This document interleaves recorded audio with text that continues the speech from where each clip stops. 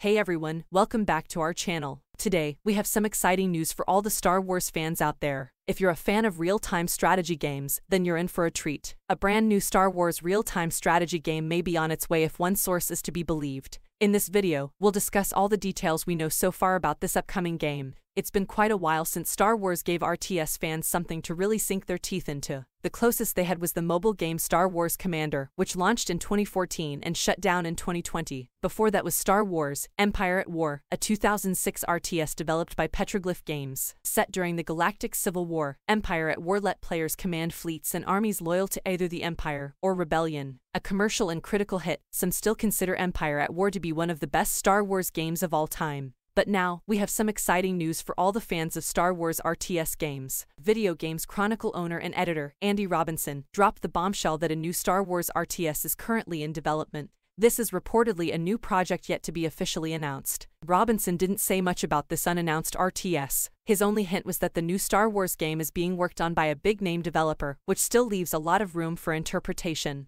Petroglyph seems like a natural choice, though it's presumably still busy with its upcoming game Earthbreakers. Relic Entertainment could be another likely contender now that Homeworld 3 and Company of Heroes 3's console port are wrapping up. Alternatively, Creative Assembly and Paradox Interactive have the potential to do something interesting with the Star Wars IP. Unfortunately, there isn't enough information to do more than speculate about the possibilities. E Star Wars license loses its exclusivity this year, so there's no saying who the new game's developer might be. Star Wars and RTS fans will just have to wait and see. But one thing is for sure, we're excited to see what this new game has in store for us. What do you think about this upcoming Star Wars RTS game? Let us know in the comments below. Don't forget to like and subscribe to our channel for more exciting updates on this topic and others.